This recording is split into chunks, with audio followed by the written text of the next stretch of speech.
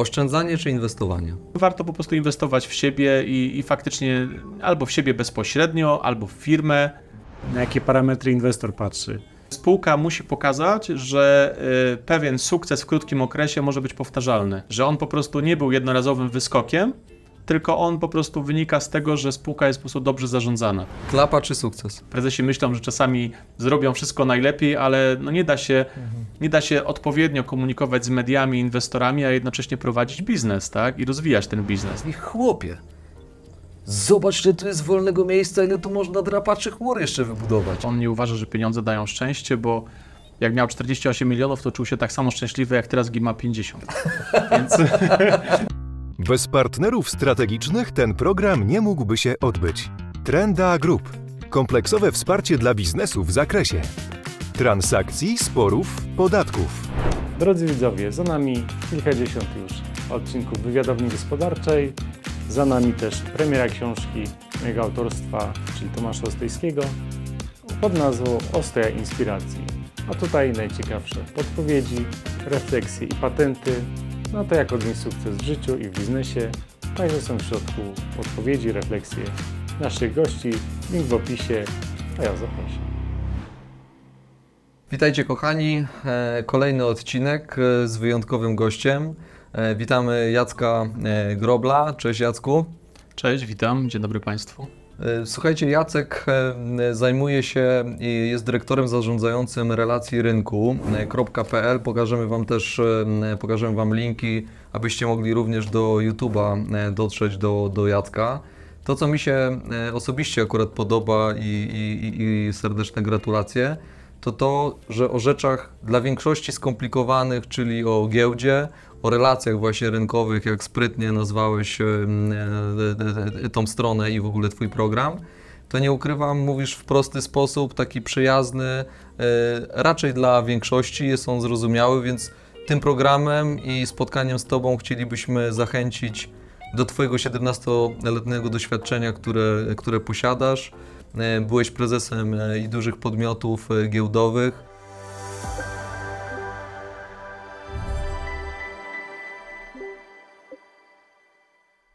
Jacku, y, powiedz nam y, w takim skrócie z jednej strony, żeby trochę zachęcić, a może nawet i wprowadzić nas y, w te relacje rynku. Czym zajmuje się Twoja agencja, skąd ona się wzięła, jak powstała, jak to się stało? No z reguły tak jak to w życiu, trochę przypadku, trochę zrządzenia losu, trochę pomocy szczęściu po, przy pomocy odpowiedniego też wykształcenia, doświadczenia, trochę pasji życiowych. Zasadniczo to wszystko zaczęło się tak na dobrą sprawę po studiach, czyli mamy rok e, 2005. Kończę uczelnię poznańską ekonomiczną, Akademię Ekonomiczną i wyjeżdżam do Warszawy jak, jak większość dziś młodych, ambitnych ludzi, y, chcąc podbić, y, podbić świat, nie wiem, gdzieś znaleźć jakieś swoje miejsce takie, takie w życiu zawodowym. Trafiam do jednej z firm y, bardzo znaczących, kluczowych y, na no, ogólnopolskim, ale też światowym rynku audytorskim. Okay. Rozpoczynam tam swoją przygodę jako, jako asystent biegłego rewidenta. Następnie zdaję, e, podchodzę do egzaminów na biegłego rewidenta. To się zatrzymam. Tak. To z jednej strony y, przypadek, że od razu trafiasz do, nie wiem, czy to jest wielka czwórka, czy to, są, to jest tego typu podmiot. E, ak- duży- To jest akurat piąta największa firma, e, Okej. czyli tuż za wielką czwórką, e, duża. czyli jakby no, zasadniczo wiodąca, tak? Jest to nomen omen, do czego może nawiążę, firma, która też e, wspierała też rozwój polskiego rynku kapitałowego od samego początku, więc był to chyba, być może nawet chyba główny doradca giełdy Super. papierów wartościowych e, przy tworzeniu naszego rynku kapitałowego na początku lat 90. Trzeba się uczyć na piątkach, żeby trafić do, do takiej piątej firmy, największej? E, Myślę, że nie. Ja w ogóle nie jestem, nie jestem, że tak powiem, zwolennikiem, e, znaczy jestem zwolennikiem edukacji co do zasady, ale jakby, o czym też być może będzie okazja powiedzieć, e, moje też obserwacje pokazują to, że czasami te ci piątkowi uczniowie, ci wzorowi uczniowie i świetni studenci trochę wpadają taką w pułapkę ograniczeń później z różnych powodów I pracują na tych trójkowych. i pracują dla tych, którzy mają z kolei jakąś, jakąś pomysł na siebie, jakąś wizję i jakby do czegoś chcą dążyć, więc nawet tak się mówi, prawda, że jeżeli nie masz pomysłu na siebie, to ktoś inny przyjdzie i znajdzie ten pomysł na ciebie. No, dobra. Ty miałeś Więc- pomysł na siebie po studiach. Jeszcze nie po studiach, to jeszcze był taki okres, kiedy, kiedy y, miałem pierwsze doświadczenia z biznesem w roli konsultanta, tak? Jako firmy audytorskiej, jako firma audytorska jeździliśmy po całym kraju y, i robiliśmy badania y, sprawozdań finansowych, due diligence, y, doradzaliśmy przy fuzjach, oczywiście no nie ja bezpośrednio jako młody adept i Jasne. młody, młoda osoba po studiach, no ale oczywiście przypatrywałem się też biegłym rewidentom, I tutaj też to też była fajna przygoda, bo poznałem mnóstwo biznesów. Byłem, nie wiem, w, w, na przykład w elektrociepłowni gdzieś na północnym wschodzie kraju, w firmach, yy, nie wiem, ochroniarskich, informatycznych, handlowych, produkcyjnych. Czyli pełen przekrój, każda branża tak Tak, naprawdę. tak. I jako, że tak jak wspomniałem, byłem po uczelni ekonomicznej i rozpocząłem ścieżkę w audycie, Mhm. to też miałem, do- miałem tutaj bezpośredni kontakt z prezesami tych dużych spółek, z dyrektorami finansowymi. Mhm. No i to jakby też trochę mi otworzyło oczy na to, jak działa biznes, jak działa gospodarka i Mhm. no i też pozwoliło z czasem e, zaszczepić sobie ten, e, tą pasję de facto do rynku kapitałowego. Okej. A to słuchaj, bo to mnie od razu ciekawi. To jako taki asystent, czy widziałeś y, spójne rzeczy przekroju tych różnych branż? Widziałeś spójne rzeczy, które stanowią problem, niezależnie jaka to jest branża, lub sukces, niezależnie jaka to jest branża? Zdarzało się coś takiego? Miałeś jakieś takie obserwacje? A możesz nawet dzisiaj... Wchodzisz do firmy i czujesz, dobrze, źle zarządzana. Nie, bo chodzi mi o to, że wiesz, obojętnie czy to jest firma ochroniarska, czy to jest firma logistyczna, czy to jest firma handlowa, czy to jest firma farmaceutyczna, jeśli ona spotyka się z problemem jakimś finansowym e, przy badaniach, e, takich chociażby due diligence, to czy jeśli występuje jakiś problem, to on jest jakiś wspólny, niezależnie od tego, jaka to jest branża. Myślę, że chyba ciężko tak powiedzieć, Okej. bo, bo zasadniczo to jest tak, że w sprawozdaniach finansowych, jeżeli jest faktycznie jakiś problem i on jest nierozwiązywalny, no to po prostu pojawia się w formie zastrzeżenia w opinii audytorskiej. Okej. Więc jakby to już jest taki skrajny przypadek. Natomiast to, co mogę powiedzieć, to to, że wszystkie te podmioty charakteryzowała w sumie, w większości tych podmiotów charakteryzowała jedna wspólna cecha, mianowicie taka, że często firmy audytorskie i audytorzy, oczywiście jest taki obowiązek, tak, z ustawy o rachunkowości, badania sprawozdań finansowych, ale większość tych firm jednak na tamten moment jeszcze nie podchodziła do, do nas e, jako do firmy audytorskiej po partnersku, jako podmiot, który ich wspiera, po to, żeby tak naprawdę pewne rzeczy wyglądały lepiej.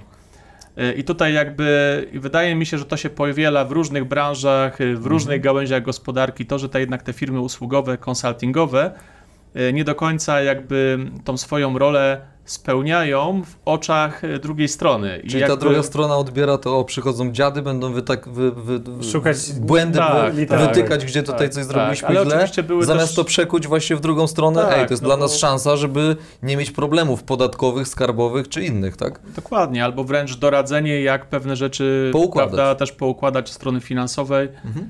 Z czasem to się zmieniało i też nie ukrywam, że y, też trafiłem z czasem do podmiotów giełdowych, Mhm. co też było takim zalążkiem tego, że zainteresowałem się mocniej rynkiem kapitałowym. Mhm. Jak to funkcjonuje, jak te podmioty wyglądają na tle innych takich powiedzmy, y, nie wiem, prywatnych albo publicznych, ale nie notowanych na rynku giełdowym. Mhm. No i z czasem też zobaczyłem, jak wyglądają te wszystkie obostrzenia, ale też tak de facto, y, no jakie są te takie impulsy wzrostowe dla tych firm, co one zyskują poprzez swoją obecność na rynku No kapitałowym. właśnie, a powiedz, dzięki takiemu wstąpieniu na, no, na giełdę, to firma może więcej, bo ma kapitał, czy może mniej, bo ma więcej ograniczeń też takich prawnych? No może powiem jakby też na swoim przykładzie, bo może Mhm. to będzie takie naj, najcenniejsze. Super. Krótko po tym, jak, y, jak y, pracowałem kilka lat w firmach audytorskich, pojawiła się pewna okoliczność, tak jak wspomniałem na początku, pewien przypadek, los życiowy. Mianowicie y, pojawiła się okazja y, też jakby spróbowania swoich sił pierwszy raz na poważnie, tak powiedzmy na, na, na gruncie biznesu. Y, Sytuacja była taka, że założyliśmy spółkę z bratem w 2008 roku. Mój brat jest zawodowym tenisistą, wielokrotnym mistrzem Polski w tenisie ziemnym, indywidualnie, drużynowo. Był czołówką europejską do lat 17, uczestnikiem hiszpańskich akademii, Wow. więc jakby rocznik 90, więc to jest rocznik Radwańskiej, Janowicza, y, Wow. więc jakby bardzo zdolny rocznik, tak obiektywnie mówiąc, tak? Super.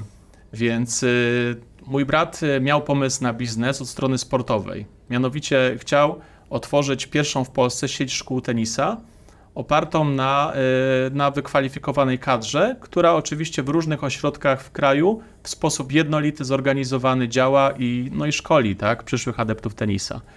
I tutaj jakby pojawiła się moja rola i No, propozycja w moją finansowa, stroną. no, genialny jako, pomysł, no. jako finansista i Mhm. ekonomista, jako osoba, która dopełni ten projekt Mhm. i no i jakby też od strony takiej organizacyjnej trochę to poukłada na bazie swoich doświadczeń. Więc to był rok 2008. No to brat był młodziutkim w ogóle adeptem. Tak, już, no. I już miał jakieś plany biznesowe. No, nieźle Tak, przedsiębiorczy. No, brat no. miał ledwo 18 lat skończone, bo między nami jest 9 lat różnicy. Mhm. Więc w sumie fajnie się ułożyło, bo, bo tak na dobrą sprawę, jak być może też orientujecie się, często tak w zawodowym sporcie jest tak, że jeżeli ktoś, ktoś decyduje się na zakończenie kariery, akurat w tym przypadku kontuzja e, po prostu uniemożliwiła Mhm. Kontynuowanie. tej Mhm. kariery, no to ci sportowcy tak naprawdę no, przeżywają, można powiedzieć, często taki, Dramaty, takie dramaty życiowe, prawda? Nie mogą sobie znaleźć tego miejsca, szukają i jakby no, nie zawsze się odnajdują i to prowadzi do różnych tutaj e, no, Depresji, sytuacji. tak. problemów. No. Dokładnie, a tutaj jakby mój brat był zawsze osobą ambitną, ja akurat też i fajnie się uzupełniliśmy. Po prostu stwierdziliśmy, ok, spróbujmy ten projekt taki sportowo-biznesowy rozwinąć na bazie moich doświadczeń, na bazie jego doświadczeń. Fajnie się to wszystko uzupełniło. Klapa czy sukces? E, Ostatecznie cenna lekcja życiowa, bym powiedział. Nie nazwałbym tego ani sukcesem, ani klapą, chociaż więcej czynników jednak przemawia ze sukcesem, co być może uda mi się też jakby tutaj Mhm. w paru, w paru miejscach podkreślić. Mhm. Krótko potem, y, jak już mieliśmy kilka ośrodków w Polsce, pojechaliśmy na y, New Connect Convention do Wrocławia. Mhm. To jakby kolejny przypadek. Ja już byłem, jakby, no oczywiście interesowałem się giełdą, interesowałem się rynkiem kapitałowym, kojarzyłem spółki giełdowe, ale to był rok, y, no 2000 mniej więcej 10, kilka lat po tym, jak New Connect powstał Dokładnie. No. bo tak, żebyśmy tutaj jakby naszym widzom i słuchaczom też jakby takie ramy czasowe przedstawili. mhm. Nasza giełda, taka rynek główny ma y, 32 lata, To, mhm. 91 rocznik. Natomiast w 2007 powstało New Connect, czyli 16 lat później. My w 2008 założyliśmy firmę, w 2010 byliśmy we Wrocławiu na takim spotkaniu, które promowało ten mały rynek giełdowy, który był skierowany do, do startupów, tak? do firm któraczkujących, które szukały kapitału. No i tam się okazało, że też w rozmowach takich też gdzieś tam z zarządem giełdy, bo była też okazja porozmawiać bezpośrednio, Zostaliśmy przekierowani do podmiotu, który zajmuje się zawodowo tutaj doradzaniem i wprowadzaniem spółek na giełdę, który koniec końców okazał się na tamten moment najlepszym podmiotem na rynku, akurat z Poznania. Wow. Więc y, tak się wszystko fajnie poukładało, że dostaliśmy duże wsparcie, przedstawiliśmy swój pomysł, koncepcję, a trzeba przyjąć jeszcze jedną rzecz podkreślić, że mieliśmy takiego marketingowego asa w rękawie, mianowicie Wojtek Fibak był naszym akcjonariuszem. Więc osoba Wow. rozpoznawalna Ze e, też w świecie marką, tenisowym, super. biznesowym i to też na pewno niewątpliwie nam pomogło tak naprawdę no, rozkwitnąć tak, na gruncie Mhm. takim sportowym. No i koniec końców, rok później już pojawić się na giełdzie. Niesamowite. Pozyskując kapitał, y, z tego co pamiętam, to była kwota gdzieś koło 600 tysięcy złotych, co na tamten moment Super. było taką no, dosyć, dosyć, dosyć, y, dosyć znaczącą kwotą i takimi górnymi widełkami, które można było pozyskać przy I debicie. ten jeden po prostu inwestor przechylił trochę szale, żebyście w stanie zebrać więcej. Myślę, że tak. Myślę, że tu raczej nasza zaradność, też taka powiedzmy gospodarność poznańska i takie zdrowe podejście powiedzmy do relacji międzyludzkich, to tak naprawdę to było kluczowe. Natomiast no nie ukrywam, że wizerunkowo na pewno nam to pomogło. A jakie są kryteria firmy, która myśli o tym, że wejść na New Connect? Która się da, do tego nadaje, a która za wcześnie albo powinna się zająć czymś innym? No ja myślę, że tutaj warto jeszcze mały wstęp zrobić, e, jak było kiedyś, jak jest teraz, tak? Kiedyś w 2000 powiedzmy 7-10 roku tych spółek było na giełdzie, małej giełdzie New Connect około 180. Teraz jest 360. E, Tych debiutów mamy też dużo mniej niż kiedyś, bo kiedyś tych debiutów e, było kilkadziesiąt w skali roku, a teraz, jeżeli dobrze pamiętam, to mieliśmy chyba dziewiąty debiut e, niedawno, od początku roku. No właśnie, koniec Przyjmijmy, roku. że jest jeden debiut miesięcznie, tak? ale to jest Niewiele, kilka no. razy mniej niż było kiedyś. Teraz jakby te spółki chyba bardziej świadomie, mi się wydaje, wchodzą na giełdę pozyskując de facto większy kapitał, bardziej świadomie też decydują, czy ten kapitał, który pozyskają, jest im tak naprawdę potrzebny do dalszego rozwoju, bo pamiętajmy o jednej rzeczy.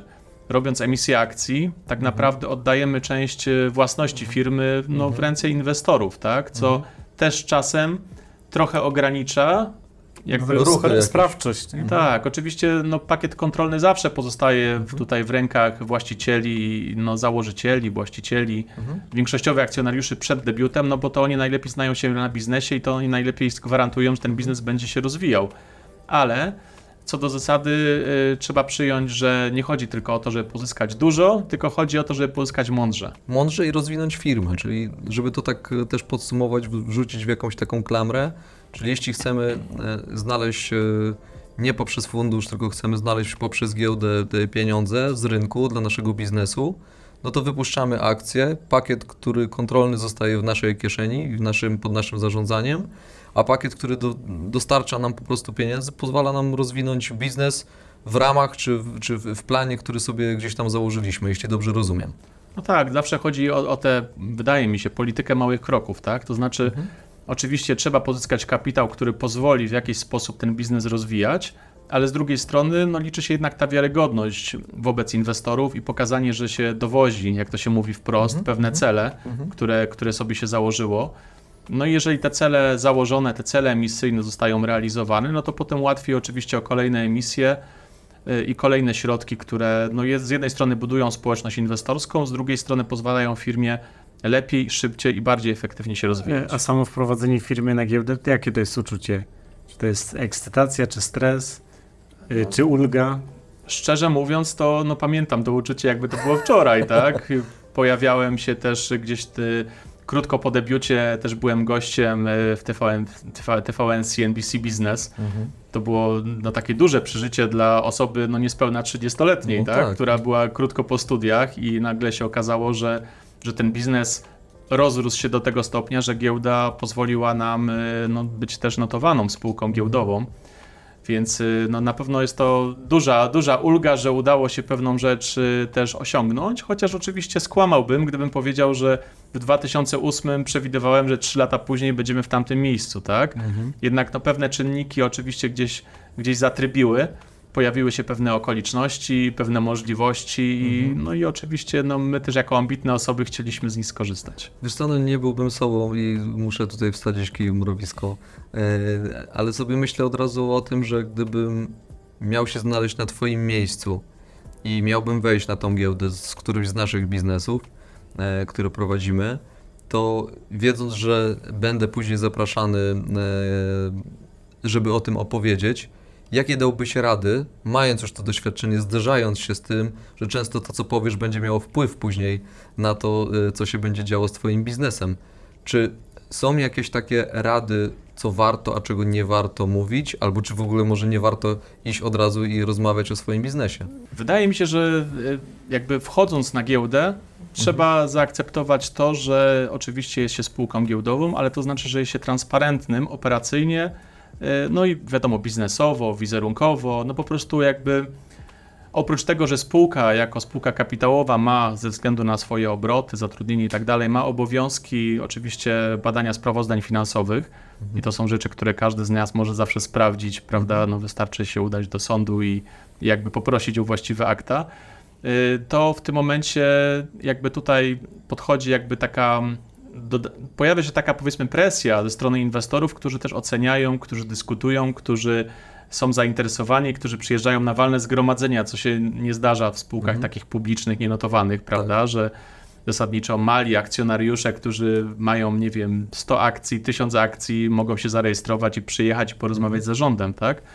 Więc, y, więc tak to wyglądało, że, że pojawiło się to zainteresowanie, co też y, oczywiście no, było pewnym wyzwaniem, tak? Bo trzeba było po raz pierwszy no, spróbować się też skonfrontować z oczekiwaniami innych, bo co innego jest prowadzić biznes y, wspólnie, na przykład biznes rodzinny, czy, czy, czy zatrudniać jakąś grupę pracowników, ale tak naprawdę samemu samemu kontrolować. Jesteś w zamkniętej pewien- grupie, po prostu tak, sam a sobie tutaj rozdajesz pojawiają karty. się inwestorzy, pojawiają się inwestorzy zewnętrzni, których się nie zna, którzy po prostu zakupują akcje i którzy przyjeżdżają na walne zgromadzenie i zadają pytania, i, swoje chcą porozmawiać, oczekiwania. i mają swoje oczekiwania, mają jakąś wizję i, i jakby z tym należało się konfrontować.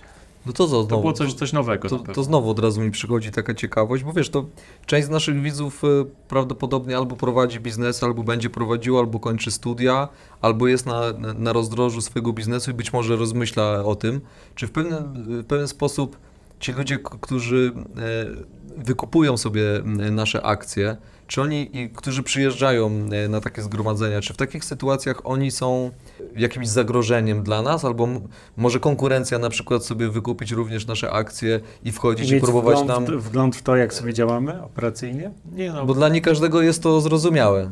Znaczy to zasadniczo ja rozumiem jakby takie podejście niektórych przedsiębiorców, którzy po prostu no nie chcą pokazywać za dużo. To Mhm. nic nie znaczy jakby, jakby od środka, ale co do zasady po prostu są powiedzmy nieufni, nie wiem. Mhm. Pewne rzeczy chcą robić po cichu, spokojnie, według swojego schematu i nikomu się z Mhm. tego nie tłumaczyć. Ale no wiadomo, no decydując się na, na, na debiut giełdowy i decydując się na pozyskanie środków zewnętrznych od zewnętrznych inwestorów, no to należy oczywiście się zmierzyć z tymi oczekiwaniami. Z czasem y, przechodziło nam to coraz y, lepiej, Mhm. też się czułem z tym coraz lepiej. Y, Wręcz y, udało się też jakby pozyskać kolejne środki, które, które gdzieś tam jeszcze ten rozwój, rozwój przyspieszyły. Co jakby też oczywiście no, miało związek z tym, że trzeba było z inwestorami rozmawiać i, i przedstawić no, też jakieś A cele. czy też tak? zarządy spółek notowanych właśnie na giełdzie, to jest jakiegoś rodzaju klub taki networkingowy, czy oni się znają w ogóle i spotykają, czy to jest...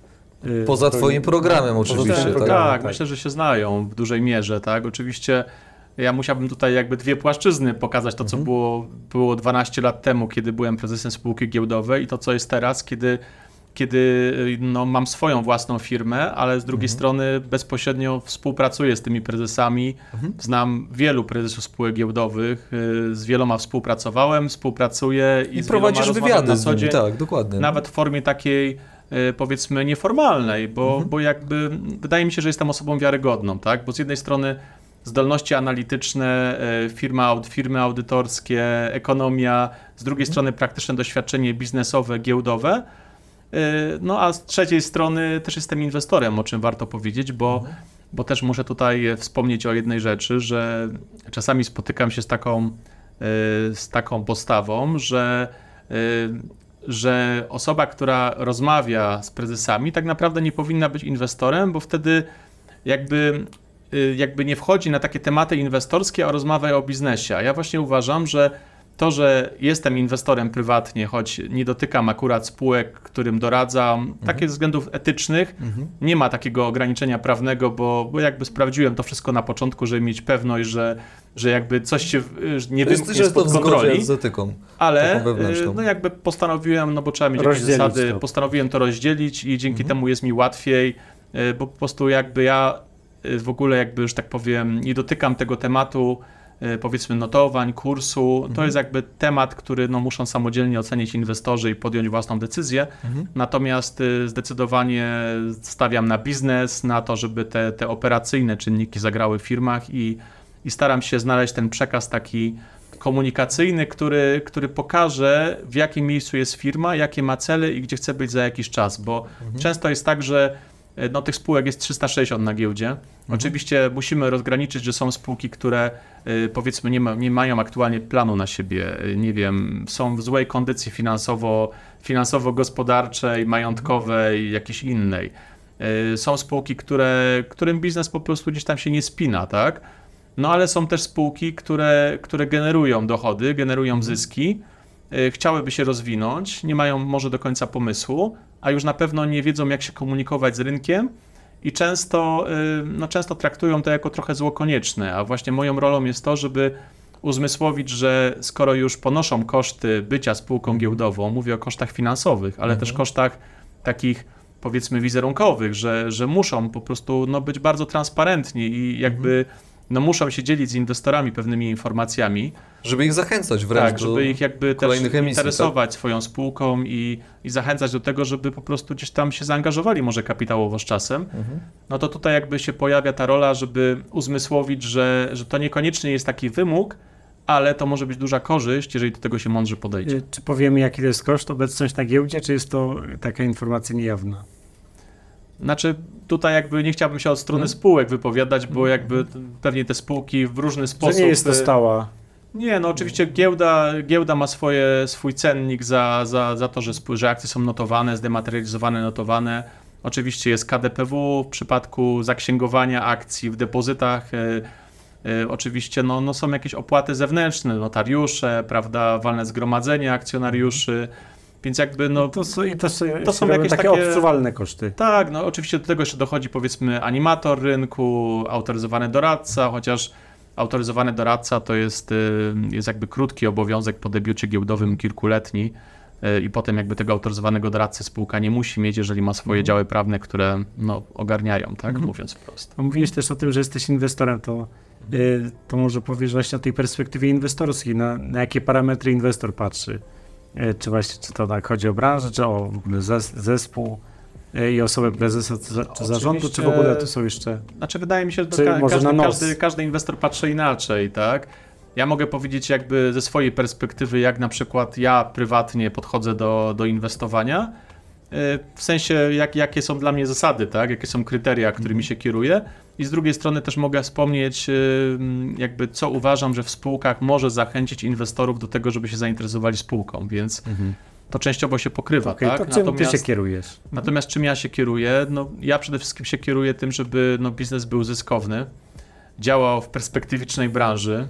To są oczywiście takie rzeczy trochę, no, takie oczywiste, tak? Nowe ale, technologie pewnie. y, No, ale często jest tak, że, że obserwując na przykład wykres, y, nie mówię o wykresie giełdowym, tylko o wykresie no, wskaźnikowym, tak? Mhm. Jednak te wyceny na przykład y, czy księgowe, czy rynkowe, ale zasadniczo też księgi rachunkowe, czy finanse, one rosną, ale z czasem jest ta wysoka baza Mhm. y, i teraz pytanie jest takie, czy, czy zarząd, czy kadra menedżerska potrafi jakby zapewnić tą powtarzalność, czy ma pomysł na tym, żeby, no żeby tak naprawdę gdzieś dalej się rozwijać, tak? A z czasem być może też podzieli się zyskiem w formie dywidendy z akcjonariuszami, co też jest Mhm. świetne. A wysoka baza, to co to znaczy?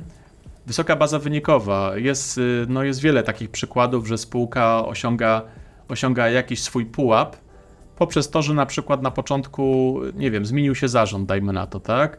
Zmienił się profil. Spółka zaczyna się rozwijać w pewnym segmencie, osiągać tam wyniki, no ale pewne czynniki rynkowe w tym momencie na przykład sprzyjają. Czynniki rynkowe, jak wiemy, makroekonomiczne, to się wszystko zmienia, to jest wszystko płynne, jest geopolityka, o której teraz dużo się mówi, jakby coraz, os- coraz więcej osób zdaje sobie sprawę z tego, jak to wpływa, tak, na łańcuchy dostaw, na, na, na, na tak naprawdę współpracę inwestycji w ogóle.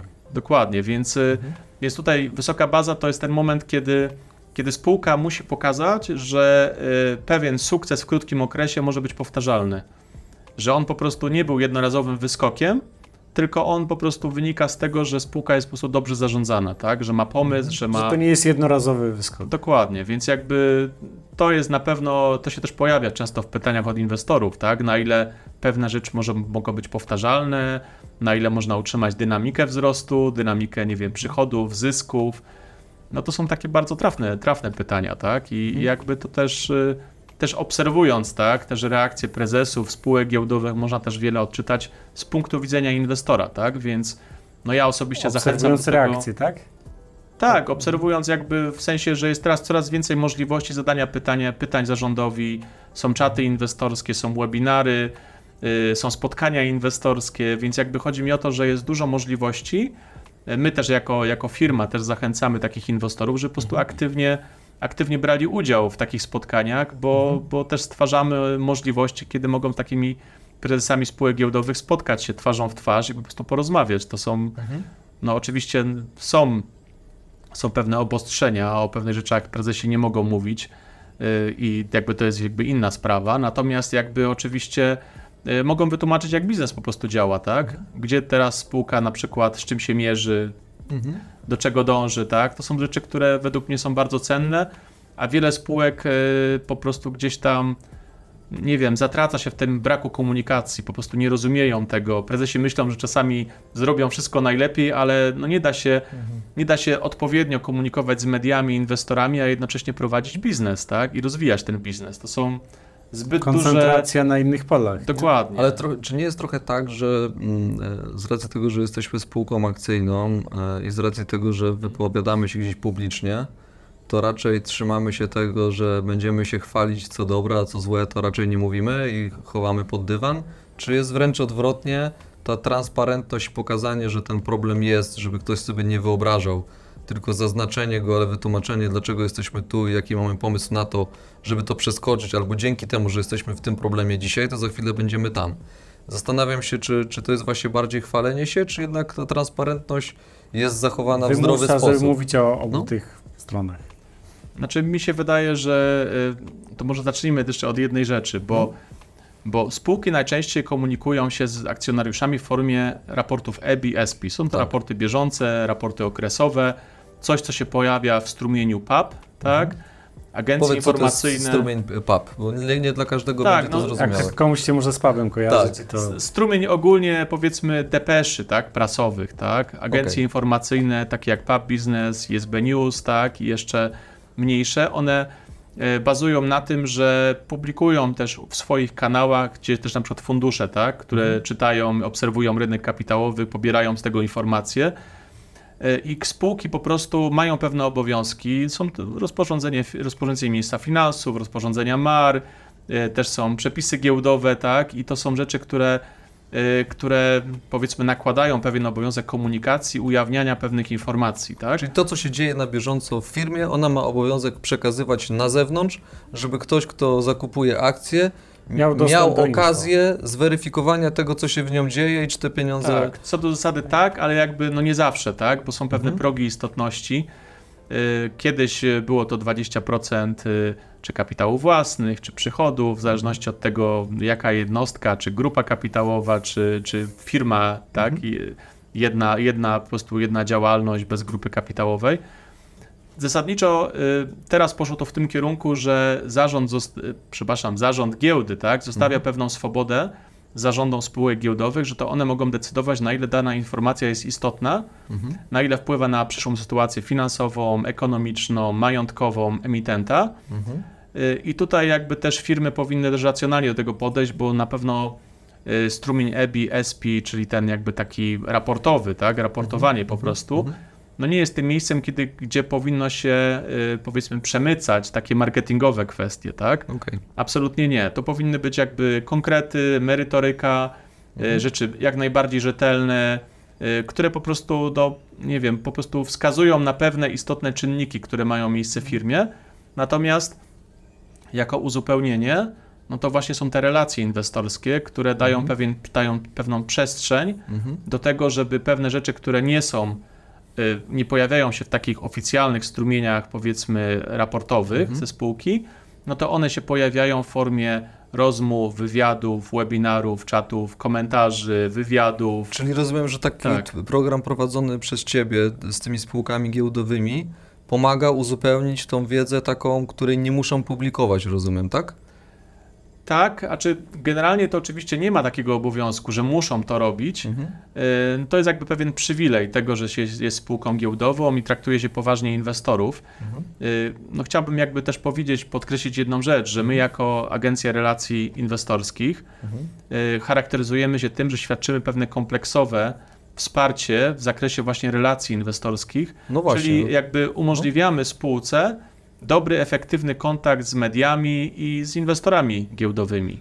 Okej. I jakby to jest ta korzyść dla spółki, że ona, będąc spółką giełdową, mając pewne obostrzenia prawne, ale jednocześnie yy, no też jakby wizerunkowe, tak? Kwestia raportowania, kwestia też informowania o pewnych rzeczach, które są yy, no, wymogiem prawnym, to jakby dajemy tą przestrzeń, żeby, żeby ci prezesi też powiedzieli też takim bardziej inwestorskim, ludzkim językiem, Mhm. yy, jak ten biznes po prostu się rozwija, tak? I czy on ma perspektywy na przyszłość. Czyli słuchaj, gdybym chciał założyć spółkę akcyjną, to tak naprawdę mogę się do Ciebie zgłosić e, i można powiedzieć, że wskażesz kierunkowskazy e, i taką drogę, może trzymając trochę za rękę, w którym kierunku pójść i jak to robić?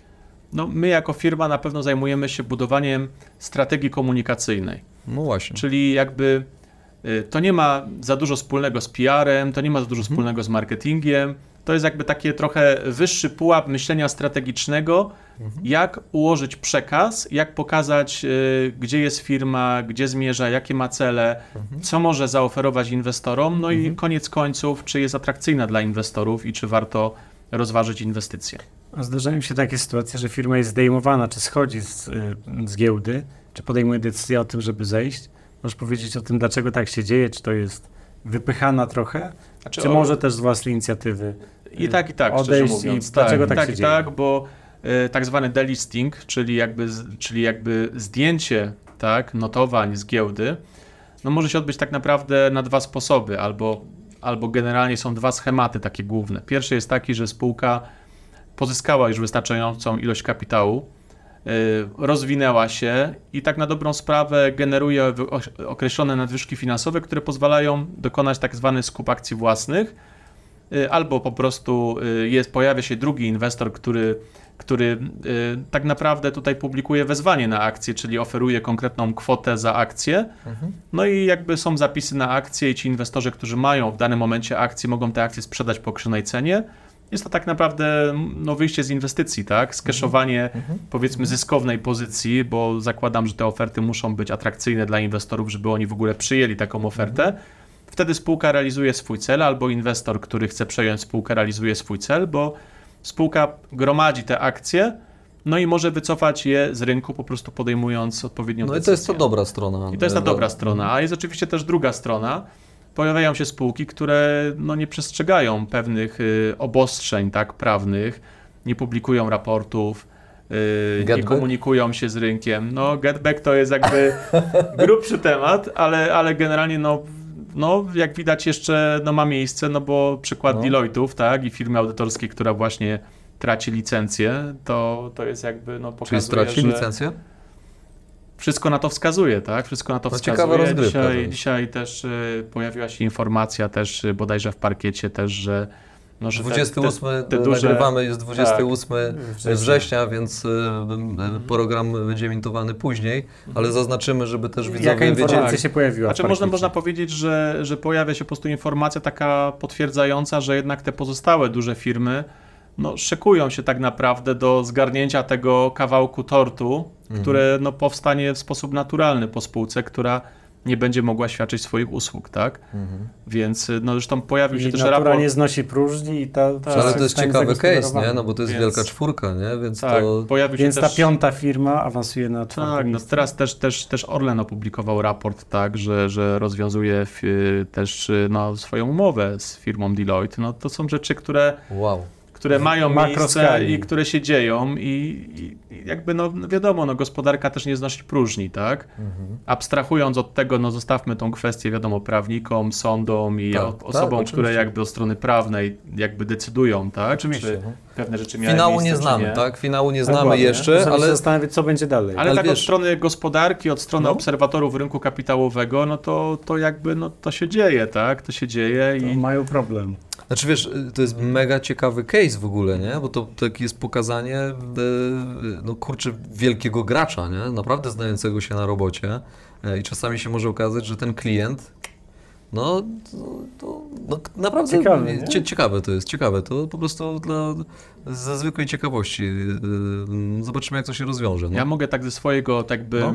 swojego też jakby podwórka powiedzieć, dopowiedzieć, że to też jakby uczy nas wszystkich, tak? I to też warto taką lekcję wyciągnąć na, na swoim pewnie. podwórku, na, w swoim biznesie, że czasami jest tak, że nawet chcąc, y, chociaż oczywiście nie znamy tutaj kulis tej konkretnej sprawy, więc jakby o to składam na bok, ale, Oczywiście. ale chodzi mi o to, że czasami jest tak, że chcąc nawet dochować wszelkiej staranności, jeżeli no, współpracuje się z, nie z tą firmą i nie z tym podmiotem, z którym należy współpracować, to można niestety też no, pewne koszty ponieść, tak? I Czyli starannie na, należy dobierać i wspólników, i kontrahentów. Zdecydowanie tak, zdecydowanie tak, bo, no bo wiadomo jak to też jest jakby w Polsce, tak? W Polsce jest tak, że jeżeli świadczy się pewną usługę, wystawia fakturę, no to jakby oczywiście jest ta kwestia memoriałowa, nie kasowa, tak? Czyli jakby Mhm. nikogo nie interesuje, czy, czy faktura jest uregulowana, to są duże faktury, Mhm. trzeba zapłacić podatek, trzeba zapłacić VAT, y,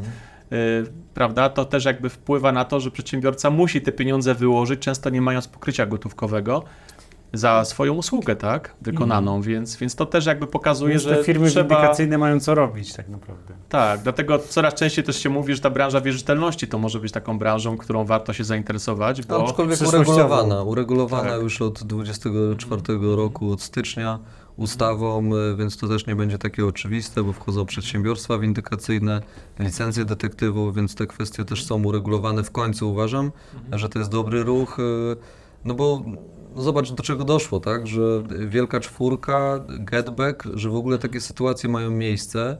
No oczywiście y, największy kryzys 2008 zaczął się od największego banku, czy jednego z największych Tak. na, na świecie, nie? Co wydawałoby się, że jest to kompletnie niemożliwe, no a jednak, tak? Więc ci najwięksi też potrafią upaść i to jest ciekawe, tylko mam wrażenie, no, no nie jestem jakimś specjalistą od rynku amerykańskiego, ale jednak mam wrażenie, że oni tam do tych błędów w jakiś sposób się przyznają, wyciągają naprawdę rzetelne wnioski i przekuwają to w sukces. U nas no obawiam się, kurczę, Czas że nie do pokaże. końca będzie tak, y, no, no pokazuje cały czas, y, na wielu płaszczyznach uważam. Y, I to jest trochę dla mnie mm, creepy, bym powiedział nawet, dlatego że no, no jednak ten system powinien być bardziej szczelny, bo nie brakuje u nas specjalistów i mądrych ludzi y, i narzędzi, uważam, do tego, żeby to funkcjonowało, ale przestrzeganie i konsekwencja tego no, często jej nie ma po prostu, mam wrażenie. Stąd się biorą takie wtopy, tak? No bo to jest wtopa i to jest wtopa no, nie tylko jednego, ani nie tylko drugiego przedsiębiorstwa. To jest wtopa wielu ludzi, wielu innych przedsiębiorstw, które pociągną za sobą olbrzymie konsekwencje, uważam, nie? No tak, i już abstrahując od kwestii biznesowych, są jeszcze te kwestie inwestorskie, Dokładnie, tak? Czyli no. są osoby, które zaufały w pewną wizję, tak? Dokładnie. Nie wiem, śledziły raporty, spotykały się na walnych zgromadzeniach, rozmawiały, podjęły pewną decyzję. No a potem generalnie no, nie zawsze się okazuje, że ten rynek kapitałowy no, spełni ich, ich oczekiwania, tak? Więc mimo, że rynek kapitałowy ma ponad 30 lat, to wydaje mi się, że są zawsze Albo tylko. są, 30. są zawsze Albo takie, tylko, tak, w no. naszym wypadku Zaledwie polskim tylko, tylko. ale jakby są, oczywiście są pewne no, obszary, nad którymi trzeba zawsze pracować, tak? I jakby, no, No słuchaj, wydaje mi się, że jakby podmioty też, y, instytucje to rozumieją, tylko po prostu jakby wymaga to jeszcze czasu. czasu. No bo właśnie ja się zastanawiam, y, jak ty na to patrzysz. No mamy większych braci i giełdę amerykańską, i, i, i, i y, londyńską. No i na koniec, y, czy my uczymy się, czy, czy, czy, czy my możemy z tamtych y, doświadczeń wyciągać jakieś wnioski i lekcje dla nas, czy to są kompletnie inne światy i niezależne ze sobą? Czy giełda polska się uczy na tych zachodnich? Czy może w ogóle się uczyć? Nie wiem, czy giełda zachodnia się uczy, znaczy czy giełda, po, giełda polska się uczy. Wydaje mi się, że tak, ale jakby no niewątpliwie jesteśmy bardzo mocno sprężeni z tymi rynkami zachodnimi, No bo właśnie. należy wspomnieć, że no przede wszystkim ostatnio widziałem takie, takie zestawienie, że nie chcę tu skłamać, ale chyba 61% y, transakcji w WIG20 dokonują podmioty zagraniczne No właśnie. na polskim rynku kapitałowym, właśnie, więc jakby to tak. pokazuje inwestorów indywidualnych, Bardzo dużą skalę, tak? kilkanaście, chyba nie wiem, 16 czy 17%, tak? Więc y, oczywiście mamy jeszcze fundusze, tak, po drodze, ale jakby to pokazuje, że tak naprawdę nasz polski rynek jest uzależniony od tego, Mhm. jak ocenia nas zagranica. Tak to wygląda.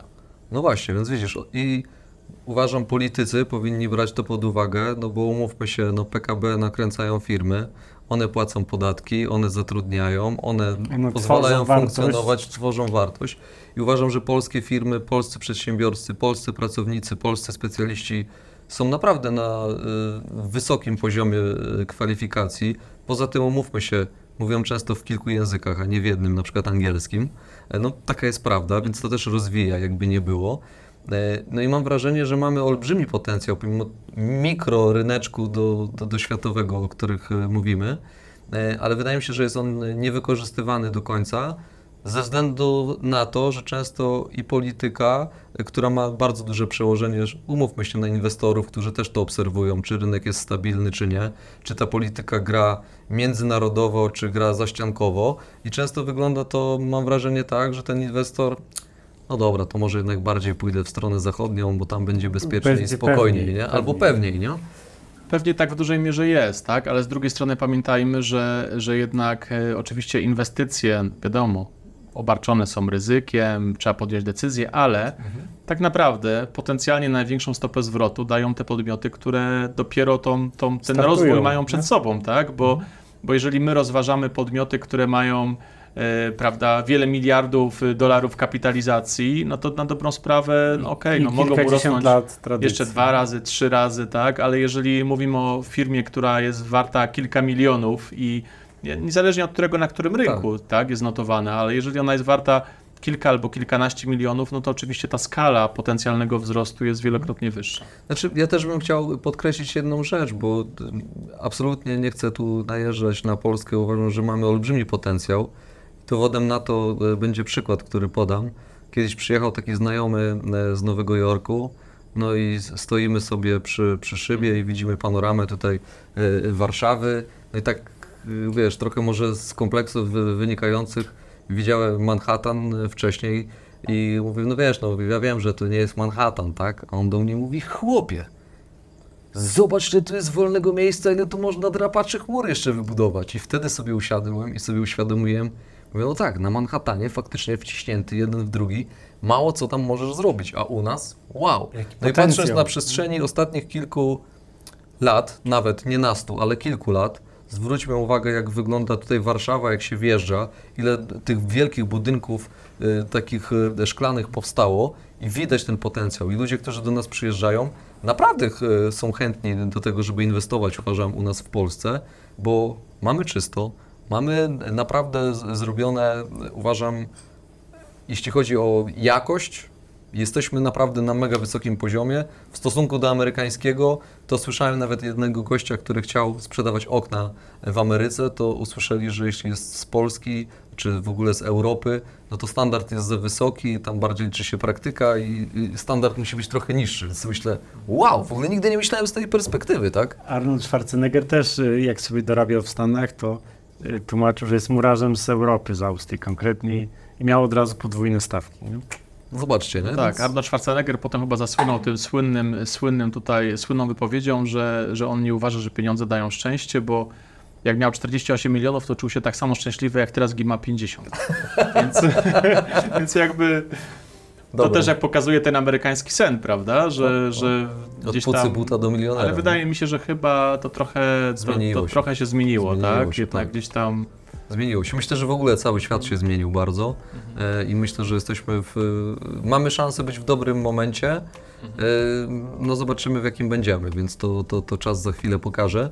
E, ale wiesz co, mi się zawsze ta giełda, liczby, te wszystkie rzeczy i tak jak słyszymy od naszych e, widzów, też mówili, żeby o to zapytać, im kojarzy się to z nudą, więc ja się zastanawiam też, skąd ty bierzesz energię do tego, żeby się przy tym nie nudzić, a Dla może się nie jest to nudzić. fascynujące. Może pytam pod włos. Znaczy ja, ja, generalnie, ja generalnie interesuję się biznesem, tak? Interesuję się jakby gospodarką, interesuję się ekonomią i jakby tutaj chyba tutaj jest jakby taka, taka fajna płaszczyzna rozmowy z tymi prezesami, bo nieraz, Ciebie to jara po prostu, rozumiem. nieraz spotykam się jakby też z takim, no z taką informacją zwrotną, że, że, że jakby oni jakby cenią, cenią te nasze nagrania, cenią materiały z tego względu, że że ja oczywiście pytam jako inwestor, ale też pytam jako osoba, która jakby no, czuje ten biznes, tak? To też jakby jest poniekąd pochodna tego, że, że pracowałem w audycie kilka lat i jakby udało mi się różne te, te, te, te branże dotknąć, tak? Wiesz, I- o co zapytać i na co patrzeć. Dokładnie, bo, i, bo często jest tak, y, że na przykład w mediach, y,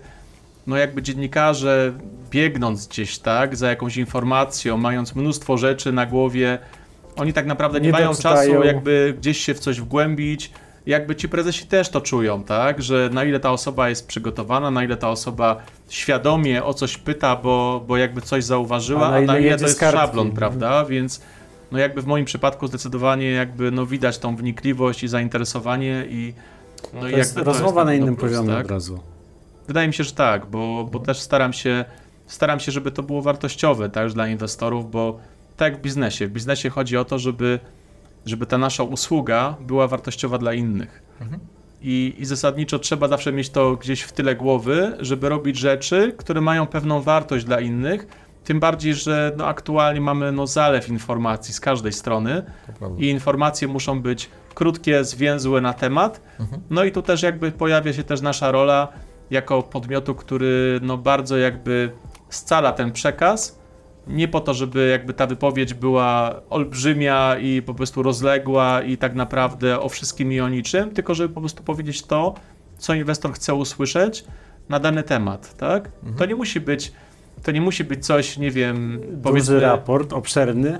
Ma być piguła po prostu. Konkretna. Raport właśnie to, to też jest dobry przykład, bo pojawiają się raporty, no raporty są obszerne, ok, ale y, też jakby naszym, naszym zadaniem jest to, żeby na przykład poprosić o komentarz do tego, co się wydarzyło, na przykład mając y, na uwadze jakieś istotne czynniki, które w raporcie zostały wskazane. I to według mnie, no to jest to creme de la creme, tak? To znaczy ktoś nie musi czytać raportu 100 stron, po to, żeby były podkreślone czynniki, które naprawdę są istotne i które zarząd wskazał za istotne w danym kwartale na przykład czy roku, poprosić o to komentarz i jakby poprosić o perspektywy, tak? Co z czego co z tego wynika. Więc według mnie oczywiście warto czytać raporty. Absolutnie zachęcam do tego, żeby czytać i żeby samemu jakby Wyciągać, wyciągać wnioski. wnioski i pewną opinię przerobić, a szczególnie przed decyzją inwestycyjną, ale no też jakby naszą rolą jest to, żeby właśnie ten przekaz y, no, usprawniać, tak? Chociaż te, predys- te przewidywanie też jest ciekawe, to Wojtek powiedziałeś o Stanach.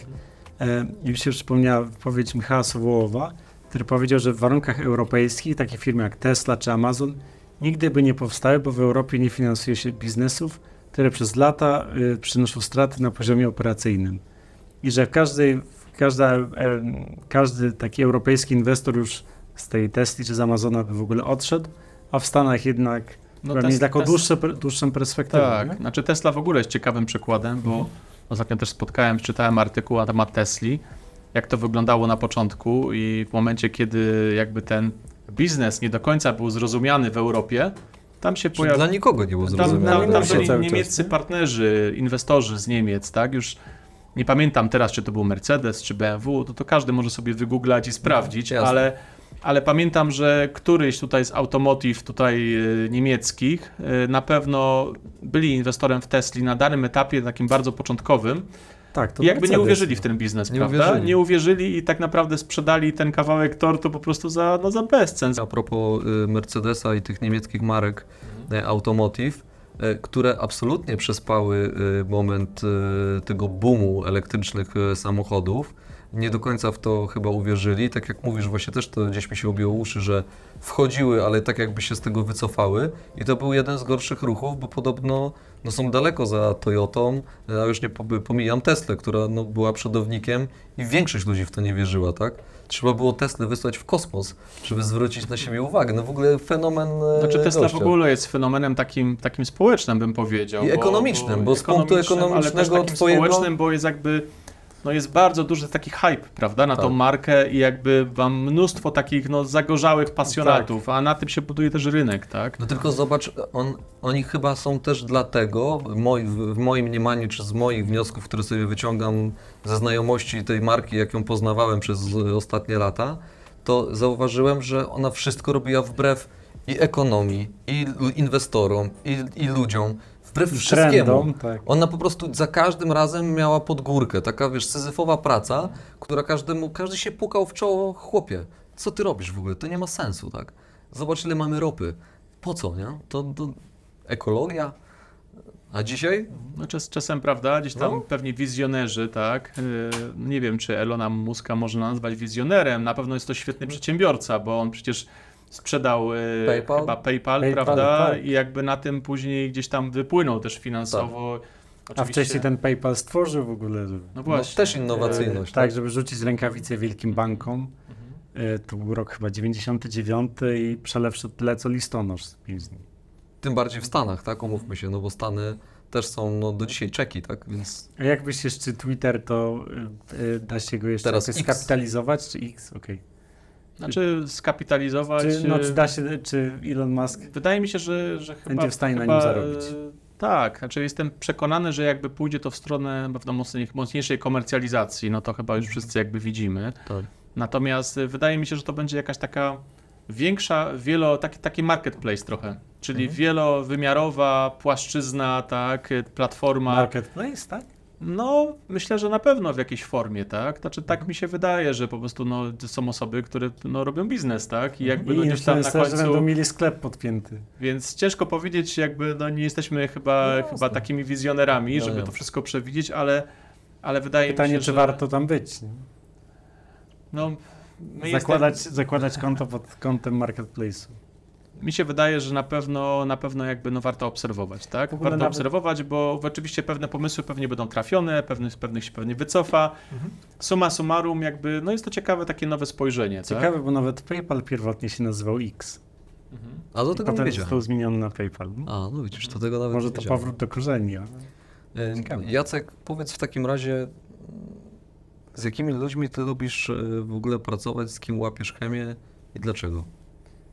Czy są tacy ludzie w ogóle? Znaczy wydaje mi się, że przede wszystkim lubię ludzi, e, tak na, na, na, jakby na tutaj jakby na powiedzmy poziomie służbowym, tak? Mhm. Którzy jakby wiedzą czego chcą, tak? Co chcą osiągnąć i nie chodzi o to, że że, że z kimś się, nie wiem, łapie ten, tą, tą chemię, jakby czuje się te fale jakby i myśli się w ten sam sposób. No, absolutnie nie o to chodzi. Ja sobie bardzo cenię gdzieś tam dyskusję, wymianę, wymianę zdań. Nawet czasami lubię usłyszeć coś, coś powiedzmy mm, takiego powiedzmy niewygodnego, ale jeżeli jest to poparte argumentami, no to, Mhm. to ma to jakąś wartość, tak? Ma to jakąś wartość, potem robi się coś lepiej, można coś przemyśleć. I jakby pod tym kątem właśnie, tak jak mówię, lubię ludzi, którzy, e, którzy są pasjonatami swojego biznesu, chcą go oczywiście rozwijać i jakby tutaj jakby są zaangażowani biznesowo, żeby tą firmę rozwijać, ale z drugiej strony no wiedzą czego chcą, tak? I jakby fajnie jest, jeżeli rozumieją jakby też tą potrzebę relacji inwestorskich, czyli tą komunikację z inwestorami, bo Mhm. wydaje mi się, że jest tym coraz lepiej, Mhm. ale y, no niestety jest jeszcze wiele takich przypadków, kiedy firmy wydawałoby się dobrze zarządzane, Mhm. albo w sumie nawet nie wydawałoby się tylko dobrze zarządzane, bo widać to po jakby osiąganych wynikach. Mhm.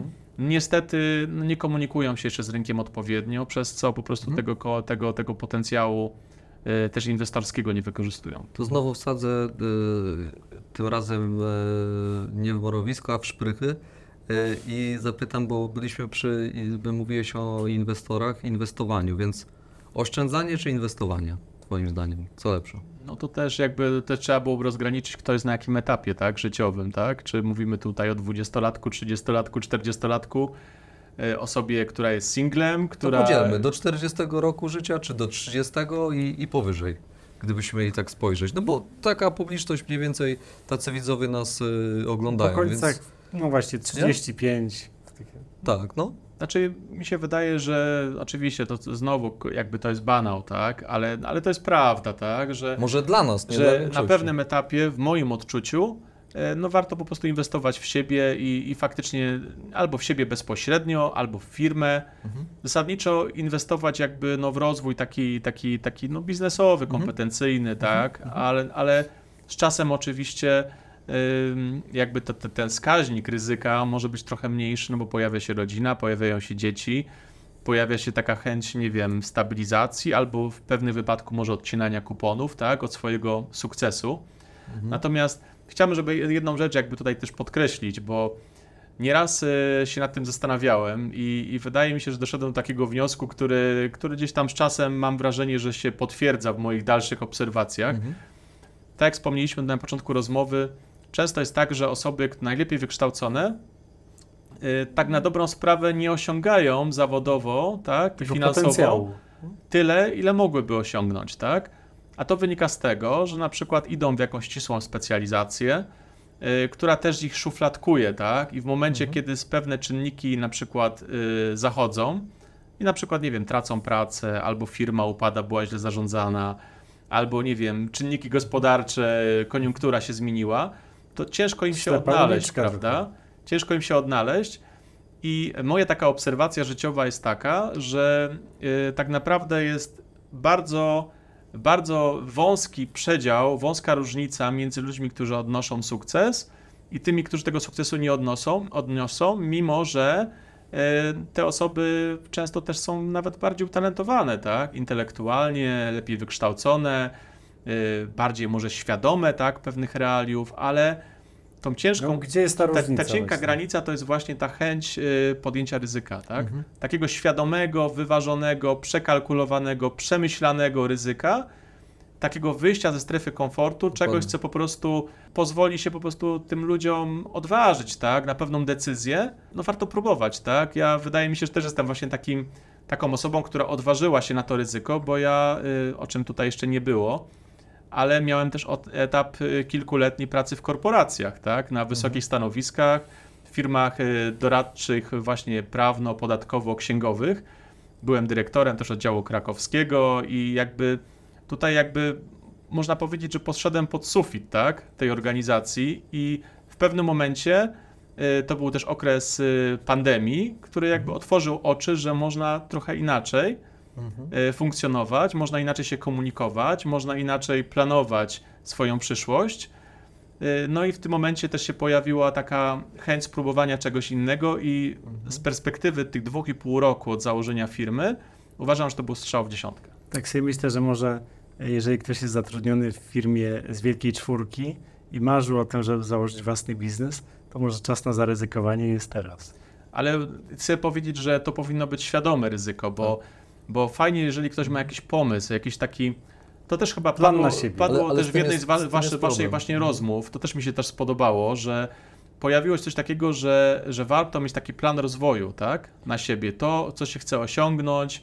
yy, I no i oczywiście dobrać do tego Gdzie się odpowiednie narzędzia, być. tak? Bo to też nie, nie zachęcam do tego, żeby, żeby odchodzić z korporacji i rzucać się I na rzucać, głęboką tak. wodę, bo też należy do tego się przygotować i jakby Mhm. zrozumieć swoje, swoje mocne cechy, słabe cechy, być może też finansowo się trochę zabezpieczyć, nie wiem, na przykład tak się mówi, często jest, y, pojawia się też w wypowiedziach, że warto mieć tą poduszkę finansową, nie wiem, w skali 6, 6-miesięcznych wydatków, 12-miesięcznych wydatków. To niewątpliwie na przykład daje większą taką smykałkę i chęć do zaryzykowania. Natomiast warto, warto pamiętać o tym, że e, no jednak gdzieś tam, gdzieś tam można wykorzystać te kompetencje analityczne, inteludz- te międzyludzkie, to po prostu jak znajomość tak naprawdę biznesu, e, też jakby na, na własny użytek i żeby realizować też swoje, swoje też cele, tak, i pasje. Wiesz co, ja z naszej rozmowy mm, też wywnioskowałem, że ty i z twoich e, doświadczeń, z twojej historii w ogóle, że ty już zaryzykowałeś, kiedy z bratem wchodziłeś, czyli wyszedłeś z tej strefy komfortu, kiedy z bratem Założyłeś wszedłeś spółkę z e, spółkę, 18-latkiem. Tak, z 18-latkiem i wiesz, zderzyłeś się, e, każdy z was jest e, inny i to też było fajne, bo dzięki temu byliście lepsi e, i ty wyszedłeś wtedy z tej strefy komfortu i ja myślę, ucząc się od naszych gości, których spotykamy tutaj, to powiem Ci, dla mnie najbardziej fascynujące jest to, i to powinni też wyciągać nasi widzowie, że warto zaryzykować jak najszybciej, jak najszybciej wyjść ze swojej strefy komfortu. Dlatego, że jeśli Ty wychodzisz jako dwudziestolatek już z bagażem jakichś doświadczeń i już z mniejszą chęcią zaryzykowania niż Twój brat 18-letni, bo on co miał do stracenia? On już stracił swoją karierę, więc on stał i był gotowy zrobić wszystko. Ty już miałeś coś do stracenia. E, I swoje wyrobione, e, wiesz, jakieś e, doświadczenie, markę, którą już budowałeś i tak dalej. I teraz uważam, że powinniśmy zachęcać młodych ludzi do tego, żeby ryzyko, ryzykowali i wychodzili ze strefy komfortu jak najszybciej, jak najczęściej, dlatego że to, w którym miejscu jesteś dzisiaj, jest spowodowane tym, Jest ja wyciągnąłem efektem. takie wnioski, są efektem tego, że ty zaryzykowałeś wtedy. Bo każdy następny ruch zaryzykowania u ciebie był spowodowany tym, że ty miałeś była. mniejszy problem z wejściem z tym, bo ty wiedziałeś, z czym się zmierzysz. no. Tak, ale jakby no, tutaj podkreślmy też jakby jedną rzecz, że, że czasami y, te okazje życiowe przychodzą jeszcze nie w porę, tak? Jesteśmy na nie trochę nieprzygotowani, za wcześnie, nie potrafimy czegoś dostrzec, nie potrafimy czegoś wykorzystać, natomiast nawet jeżeli się potkniemy, to jednak budujemy ten łańcuch doświadczeń, tak? I wydaje mi się, że ten łańcuch doświadczeń jest tak naprawdę cenny, bo w pewnym momencie przychodzi moment, kiedy czujemy, że jesteśmy gotowi, żeby zbudować coś większego, tak? I też mi się bardzo podobało w waszej ostatniej bodajże rozmowie. y, Też tam było wspomniane to, że y, część z nas jest przedsiębiorcami y, ale tak naprawdę, no powiedzmy, jest najlepiej zatrudniany, najlepiej opłacanym specjalistą w swojej własnej firmie, a część z nas prowadzi biznes. W moim przypadku to wygląda tak, że jakby jestem trochę pośrodku w tym momencie, to znaczy staram się y, na bazie właśnie y, małej firmy i tego, że, że właśnie powiedzmy jestem takim koordynatorem, osobą, która, która to wszystko spina, i, ale natomiast mam już pewnych współpracowników, natomiast to nie są jeszcze moi pracownicy. Teraz jestem właśnie na etapie, kiedy, kiedy dążę do tego, żeby budować zespół i żeby budować biznes, czyli coś, e, z czym wielu z nas może mieć problemy, z, taką, z takim też delegowaniem obowiązków, e, z tego, żeby przestawić tą wajchę, że, że nie musimy nad wszystkim trzymać pieczy i wszystkiego kontrolować i wszystko robić sami, no bo doba ma tylko 24 godziny, tak? Dokładnie. I chodzi właśnie o to, żeby, żeby zbudować ten efekt skali yy, i, no i dzięki temu też robić więcej rzeczy i no, na, większą, na, wie, na większą skalę też z pożytkiem dla naszych klientów. Chyba zgodzisz się, że e, prezesi spółek giełdowych są mistrzami w delegowaniu. Że wielu rzeczy nie robią osobiście. Oczywiście mówimy o firmach, które, które są rentowne, które, które z powodzeniem prowadzą swój biznes. Mi się wydaje, że, że tak, że jakby no muszą, chociaż oczywiście muszę powiedzieć, że, że na przykład cofając się jeszcze kilka lat do czasów pandemii, yy, to jakby no to trochę zmieniło tak, na rynku, tak? I jakby ludzie, specjaliści trochę inaczej zobaczyli, że można pracować. Sam oczywiście też jestem tego przykładem, natomiast Natomiast y, często spotykam się też z takimi opiniami, że, że jakby to nie pomogło, tak? Bo, bo nie można integrować tego zespołu, nie można go scalać, że oni nie przybywają ze sobą, nie wiem, nie wymieniają tych doświadczeń. Natomiast no ja na to patrzę trochę inaczej, tak? Ja uważam, że, że na tamten moment to na przykład firma, która działała, nie wiem, na rynku warszawskim, katowickim, no to ona tam szukała tych ludzi. A teraz może szukać w całej Polsce, a nawet na całym świecie, tak? Działając Więc- online. No. Dokładnie, więc jakby no otworzyły się zupełnie inne tutaj jakby no inne perspektywy rozwoju, więc no ja Czy widzisz, czasami przy tych y, takich i traumatycznych, i dramatycznych y, sytuacjach, które napotykamy, część będzie widziała problem, będzie płakała w kącie, a druga część będzie szukała okazji albo co z tego możemy zrobić. No i co zrobiliśmy? Sądy, rozprawy są elektroniczne. E, Spotkania odbywają się online, pracownicy online, tak jak mówisz. Ja I osobiście. tylko uczelnie wyższe straciły, bo YouTube może być cenniejszy niż studia online. Tak, no czasem tak, aczkolwiek no mówię, to, to, to, to myślę, że znowu musi być zachowana jakaś równowaga, bo, bo uważam, że to ma e, też znaczenie. Ale wiesz co, no ja osobiście wolę jednak kontakt bezpośredni, e, lepiej mi się rozmawia. Wywiady też moglibyśmy prowadzić e, online, ale jednak wolimy się spotkać, poczuć. Ja uważam, że ta relacja i, e, i, i jakiś taki kontakt e, bezpośredni jest po prostu fajniejszy. I myślę, że dla widzów to też jest, e, to też jest ja mogę się pod tym całkowicie podpisać, bo nieprzypadkowo nasza firma nazywa się Relacje Rynku. no właśnie. no. I nie chodzi tylko o relacje inwestorskie, ale chodzi o relacje międzyludzkie, tak? Nie była to mnie- ustawka, słuchajcie. Tak? I dla mnie jakby to po prostu jest, jest też kluczowe, tak? Ja też podkreślam to w rozmowie z naszymi klientami, prezesami, że ja tą relację bardzo cenię i często mimo tego, że faktycznie możemy nagrać program zdalnie za pomocą tutaj odpowiednich tutaj narzędzi, no to jednak no, wsiadam w samochód albo w pociąg i jadę te Jedziesz. 300 km, 600 km, 800, tak? Po to, żeby, żeby tą osobą porozmawiać też, też jakby no face to face, tak? Jacek, y, chcieliśmy Ci serdecznie podziękować w ogóle za to, że znalazłeś czas, żeby się z nami e, spotkać, podzielić wiedzą z nami, z widzami, e, trochę się przedstawić. Życzymy Ci przede wszystkim tego, żebyś e, zbudował swój biznes. E, Cele jasno masz, e, widać, spisane e, i, i jestem pewien, że, że na pewno to osiągniesz, czego Ci oczywiście życzymy.